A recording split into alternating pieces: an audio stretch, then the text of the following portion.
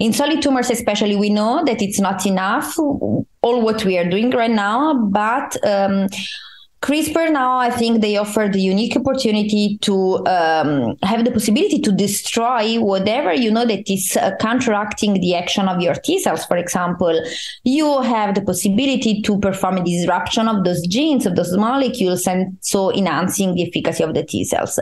Um, however, I have to say that um, there are also some other some other new tools that we can now focus on, like I already mentioned, the base editing that will enable enable the uh, reduction of the off-target uh, problem and also of the safety concern because you don't have the translocation issues anymore that you might have with CRISPR technology. Because with CRISPR, you must you may also have if you destroy multiple genes at once the uh, translocation of the uh, double strand breaks that you have. So the portion of the broken DNA they can uh, rearrange with each other, and so you might have translocation. With base editing, you may reduce this uh, problem because you will have a single mutation, a single base pair mutation. So in this way, you reduce, of course, this problem. But also uh, on the next step, we have also prime editing, that is a search and replace genome editing tool that enables to directly write new genetic information exactly in the position of the genome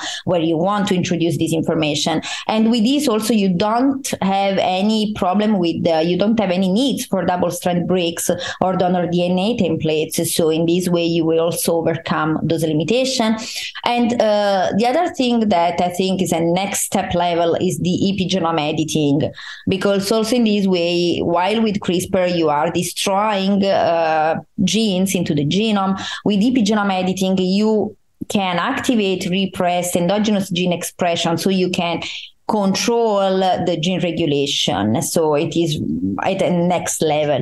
But uh, you're right on the solid tumors we really need now to work much more and much harder in order to identify the proper uh, setting to make the t cell products work better in this uh, immunosuppressive microenvironment